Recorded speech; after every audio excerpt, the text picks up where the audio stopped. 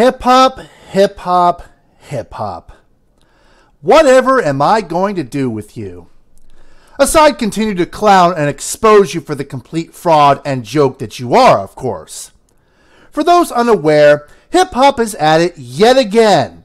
Somebody gave a review score to Horizon Zero Dawn that he didn't approve of, so he sent his dumbass fanboys to harass this reviewer. This dude just doesn't fucking learn. So all this gets out in the open on Twitter, and BG, the head of the Weapon Wheel podcast, chimes in basically saying the obvious thing any rational, level headed individual would say.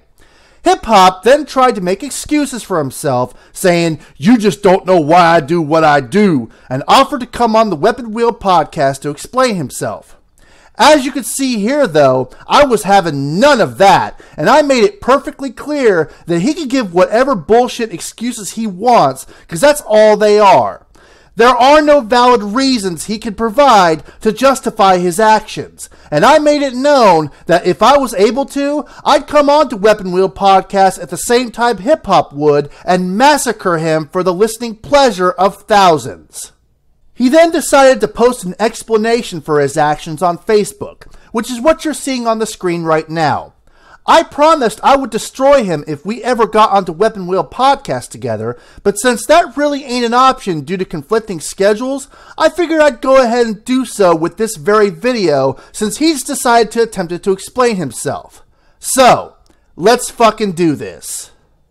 Yo, yo, yo, yo, listen to me right now. Brooklyn style, shots fired, bang, bang. Now, message to my gamer family. Are you all familiar with Chef Gordon Ramsay or Damon Dash? Okay, the passion and approach to food and restaurants, hip hop culture are very, very parallel to how my passion is for gaming culture slash industry, etc. Bang, bang. Since you wanted to bring up the hip hop culture, let's go ahead and get this out in the open, hip hop. I ain't gonna call you by your government name because, quite frankly, you're subhuman trash who is unworthy of being talked to as a human being and will continue to be till you prove otherwise. So, henceforth, I'm gonna call you by your corporate cum dumpster name, which is 20k ROMs. Let's get this straight right here and now, 20k ROMs. You ain't even doing a good job of repping the hip hop culture, at least in its current state in mainstream music. No, see, what you're trying to rep is the gangster culture, the street culture, the hood culture, the ghetto culture, whatever you want to call it, with all this bang bang, shots fired, Brooklyn style bullshit you spew on a regular basis. Now, there is a subgenre of hip hop known as gangster rap that more accurately fits what 20K ROMs is trying to emulate, but there's a bit of a problem there. I took a look at some of the recent playlists for Hot 97 FM, which is the radio station that employs his dumbass. You want to know what I found? Found a bunch of Rihanna, Drake, Nicki Minaj, Fat Joe, Jay Z, and other assorted mainstream hip hop artists. Guess what I hardly found any of? Gangster rap hip hop artists. And you want to know why I didn't find any?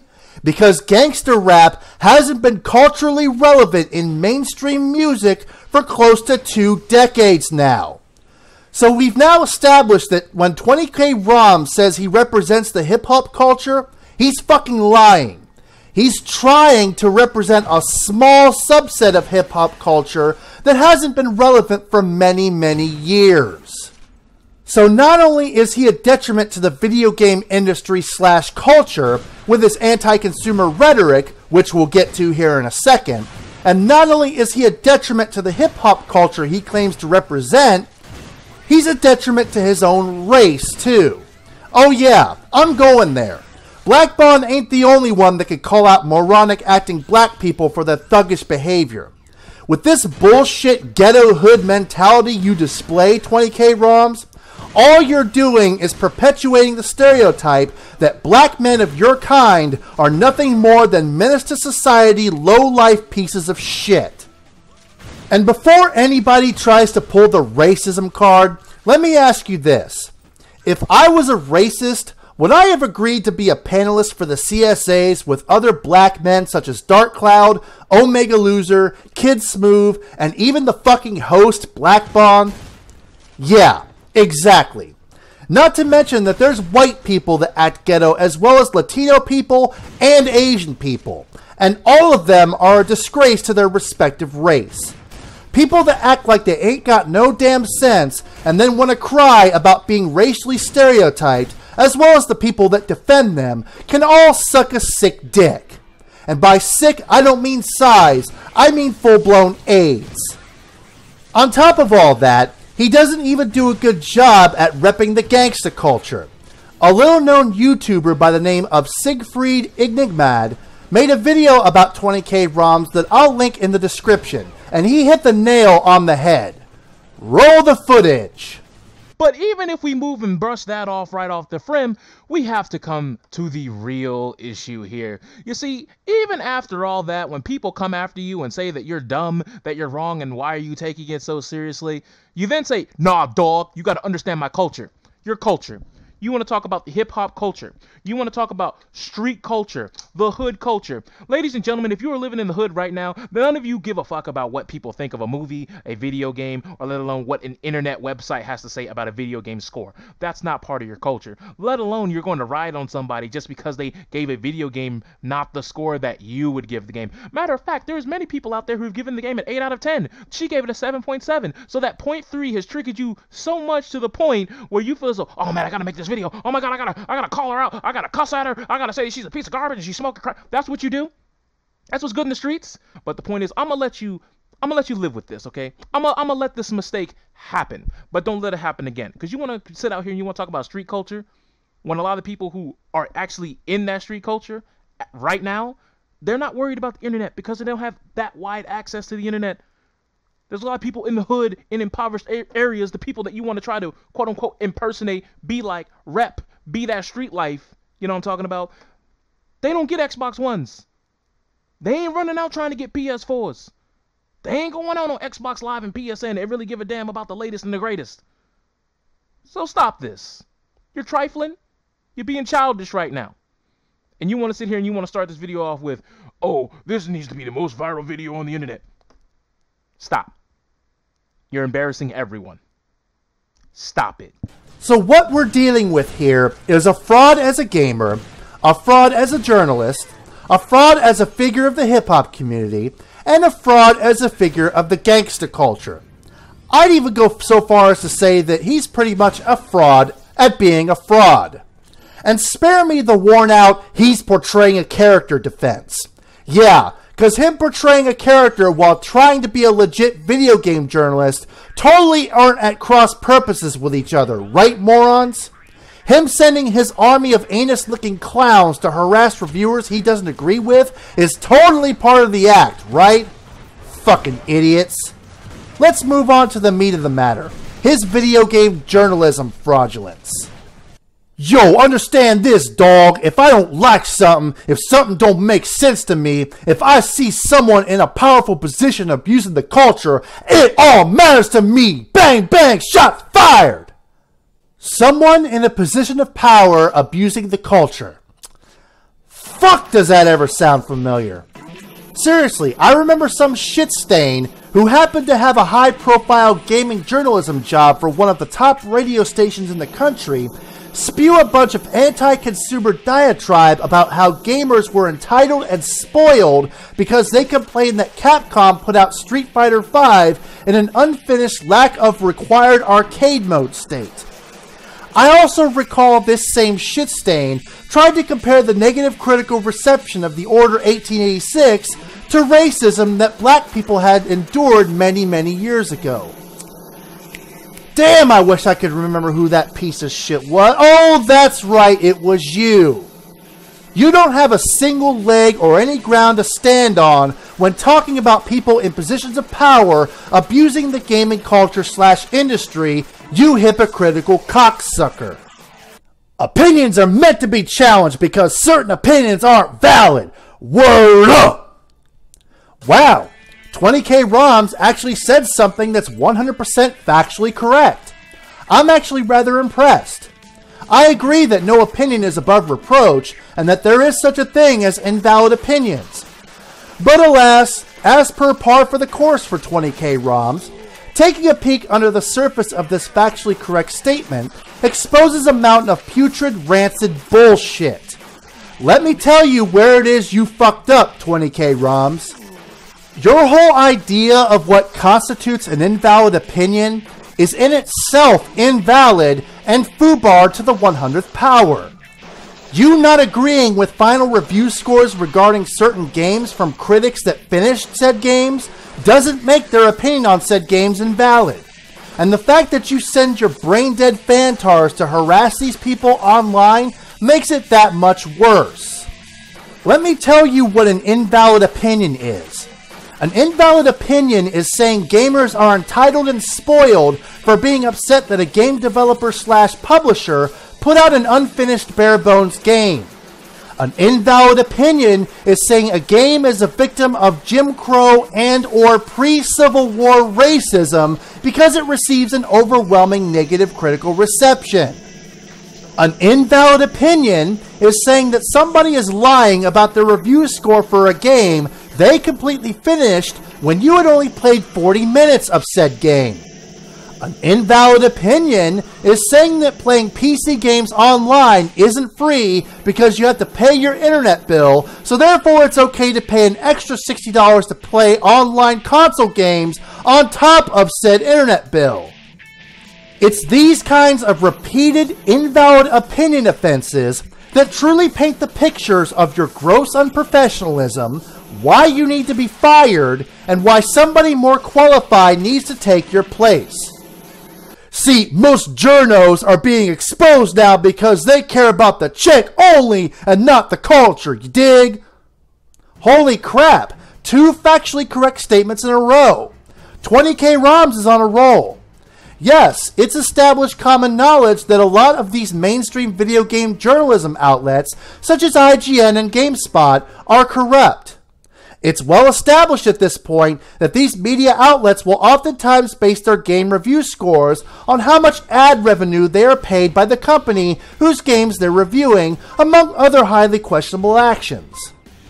Having said that, however, the fact that I trust any of these outlets with my life before I trust anything 20k ROM says slash does regarding video games should really clue you in as to what kind of fraudulent shit salesman with a mouthful of samples con artist 20k ROMs really is.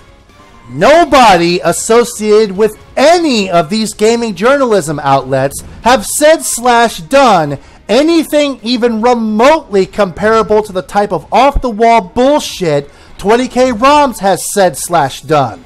And I say that with every awareness of the Colin Moriarty Mass Effect 3 scandal and the Jeff Gerstmann GameSpot Kane and Lynch controversy.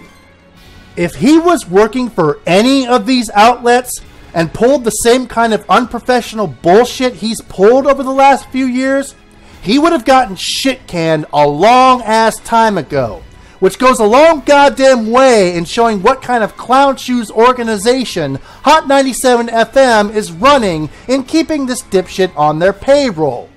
Oh, and with the aforementioned corporate cocksucking 20k ROMs has been found guilty of, his statement of journals getting exposed because they only care about the paycheck perfectly applies to what I'm doing to him right now. My goal is to raise the bar on what we love raising the bar on what we love, that being gaming. Please explain to me how your anti consumer mentality is going to accomplish that. Be more accountable for what we do. Be more accountable for what we do. You obviously haven't been held accountable for your horrendous actions due to the fact that you still have the job that allows you to perpetuate said horrendous actions. And that's a problem. Now you know why I'm here, 20k ROMs. You've done bad things. And grow in a way where we can have dialogue and learn from each other. You feel me? Grow in a way where we can have dialogue and learn from each other. Right after I send all my idiotic fanboy followers to harass those I don't agree with, that is. I've never been a yes man. You've never been a yes man. Really. You sure about that? Because I'm pretty sure the Street Fighter V and the Order 1886 examples I mentioned earlier don't just beg to differ, but rather demand to differ. It's like whenever you open your mouth, you're lying. And I've never ever had a fear of someone's power and position. You've never had fear of somebody's power or position. That's because you've been lucky enough to not have to work for an organization that wouldn't tolerate any of the stupid bullshit you've been partaking in. I bet if you were held to the same standards of professionalism as everybody else and got fired for all your stupid bullshit, you'd be singing a different tune in that regard. That or you haven't had to have any fear of somebody else's superior position because you do such a good job at sucking them off. I call every bluff if need be, cause you're looking at and witnessing the realest, most passionate voice ever in gaming. Hashtag facts. Bang, bang, shots fired, Brooklyn style. Oh shit, it's the po-po. Scatter. You call every bluff cause you're the realest gamer around, huh? Far as I'm aware of, you ain't even remotely addressed anything I've said about you in any of my past videos. It's almost as if you're ducking me at every turn. Because you know your bullshit ain't going to fly with me. Since you want to talk a big game, though, I'm going to make this extra interesting. Because I'm officially not allowing you to duck me anymore. I'm giving you exactly one month to address everything I've said in this video with a video response of your own. And I want you to play each excerpt from this video individually before addressing them so your audience can hear what I'm saying in the video you're addressing. So I don't get accused of just doing this to get views and subs. You do not have to mention my name in your response video. You do not need to link to my video in any way, and you do not need to link to my channel in any way. It's your choice if you do, but I don't care if you won't, because me making my audience bigger is not what this is about. Oh yeah, and in this response video of yours, I want you to name all the games I've showed footage of in this video. I mean, you claim to be all about the gaming culture and the realest gamer to have ever lived to the point where you know about ROM hacks of Street Fighter 2, so you should have absolutely no problems naming the games I showed in this video, right? If you fail to make your response video before the month long time limit expires, I'll be doing what I've been heavily implying in my past videos about you that I would do which is sending correspondence to Hot 97 FM, your employer, to give them the feedback about you that they obviously need, which I will show myself sending in a follow up video and encouraging others who are sick of your nonsense and how you conduct yourself to do the same. What will become of the feedback correspondence I send to them, I have no earthly idea. But it will be sent regardless if you continue to duck me like a straight bitch. And if you think I'm fucking around with you, try me. Oh, and if you try sending any members of your fuckboy army after me, they will be dealt with accordingly. As a matter of fact, let me go ahead and preemptively dismantle the favorite tactic some of your fantards have already tried coming at me with. That being that I'm jealous of 20k ROMs. Jealous of what? Jealous of what? Being jealous means I want what he has. He's got nothing I want. What? Am I jealous that he's a video game journalist and I'm not? I've never had, nor will I ever have, any ambition, aspiration, or desire to become a gaming journalist. So we can go ahead and toss that in the garbage. Jealous of the money he makes? I make enough money to live comfortably and live the kind of lifestyle I want. So we can go ahead and throw that out as well. Jealous that he has a voice in the game industry? That kind of goes back to the game journalism thing.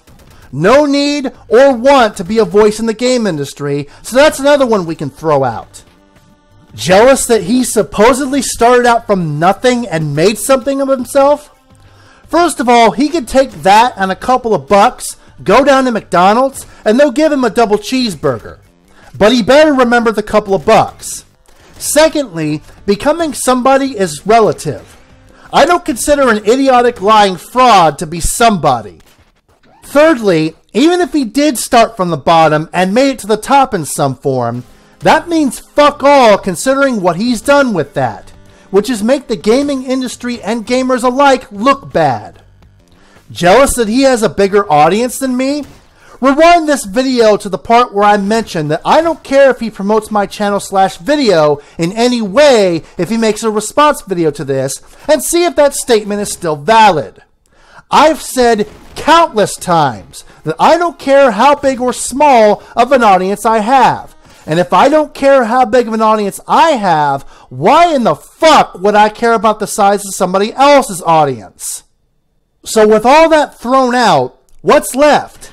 His ability to make an ass out of himself? Oh boy, that's definitely something I should aspire to be. I sure do wish I could say and do stupid shit like him. Fuck out of here. If you idiot fanboys are gonna come at me, you better come at me with something substantial, or else I'll make you look like the worthless mules you are. Anyways, 20k ROMs, I honestly don't think you'll even watch this video, let alone respond to it. I really don't. I'll be really surprised if you do either of them, because it's far easier and more convenient for you to stay in your little safety bubble and label me a hater for ease of dismissal. You can go ahead and do that if you want to, but deep down, you know that everything I've ever said about you is factual. Like I initially said on Twitter, there is no valid reason you can provide to justify the shit that you do. You can make up whatever bullshit excuses you want, just like you did with your Facebook post that I just mutilated with this video. Your bullshit might work on children, domesticated farm animals, and retarded people, but grown ass people with functioning brain cells can see right through you. And that's why I fucking destroyed your ass in every video I've made on you, and will continue to destroy your ass for as long as you continue to say and do stupid shit in order to ruin the game industry. You're a joke, you're a fraud, you're an unprofessional, abysmal excuse for a journalist, you're an anti consumer corporate slave, and you're a borderline menace to society. The one thing I don't think you are, despite what you claim, is real. But we're going to find out just how real you are. And if you failed the real test, you're going to find out why I call myself the eater of frauds. One month, 20k ROMs. One month. The great exposer has spoken.